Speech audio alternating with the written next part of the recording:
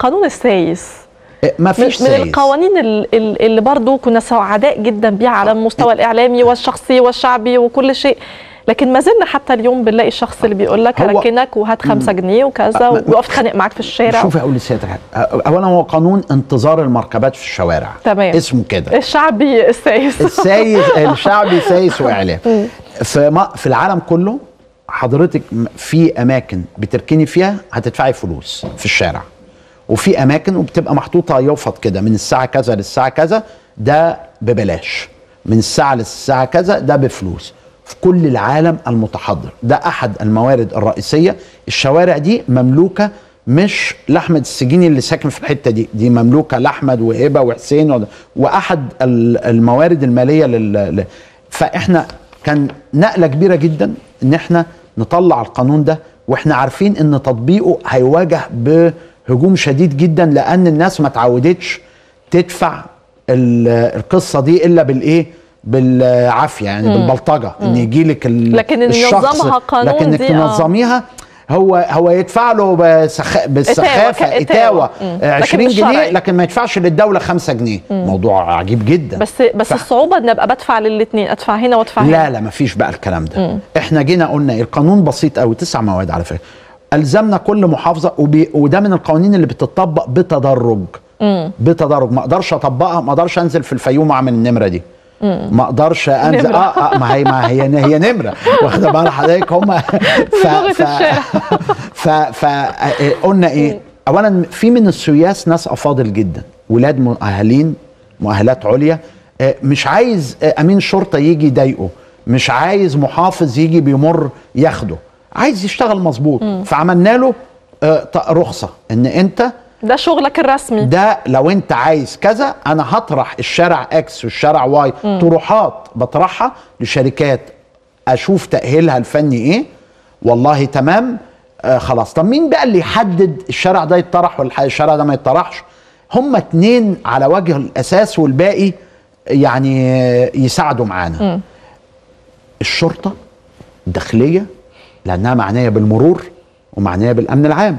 هي اللي تقول والله أنا ده آه، آه، أعمله parking أو ما أعملوش باركينج والمحليات لأنها معنيه بالنسق العمراني والنسق الحضاري وهي عايزة ده يتناسب إيه؟ برضو ولا لأ؟ مم. أنا بعمل له جلسات كل ثلاث شهور أو كل آه، أربع شهور أشوف أخبارنا إيه من حيث التطبيق ومن حيث الموارد. لكن متفائل. أو شايف إن إحنا برضو على التراك. المظبوط.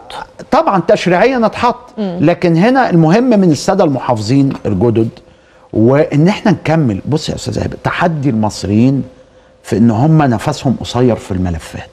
نطلع الطلعة بنزهق. بنا وما بنكملش. وده دور على المجلس الموقر على النواب وعلى الحكومة. والحكومة والتنفيذي لما بيبقى آه عنده آه حد بيتابعه مش شرط عشان كده دايما أقول إيه مش الاستجواب الاستجواب مش عصا موسى السحريه يعني أنا عندي طلب إحاطة أو عندي مناقشة موضوعية في ملف قطاعي أهم مليون ألف مرة بالاستجواب. الاستجواب هي- هيحقق بطولة لمقدم الاستجواب وفي النهاية إيه؟ لو ما سحبش الثقة فعليا يبقى ما عملش. حاجة. أوكي؟ فلازم نبقى منتبهين للمسألة دي. وبعدين هنا أنت م... م... شوفي الفلوس هي البداية وهي النهاية. وإحنا يعني ف... وأنا قلت الكلام ده في اللجنة الخاصة وقلته في إحدى الجلسات في ال... إحنا كنا اولا إحنا ما كانش عندنا مسار بديل عن التنمية.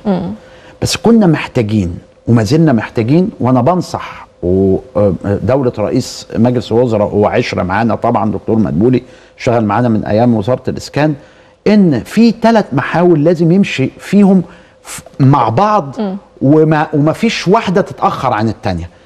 أنا لازم أكمل في المسار التنموي آه، في الأعمار والإنفراستراكشر اللي إحنا شغالين فيه لأن ده كان صح. واللي يقول لك لا إحنا كنا واخدين مسار غلط لا ده كان صح. وأثبت جدواه يعني مع الوقت بيثبت ما كانش جدواه. عندنا بديل.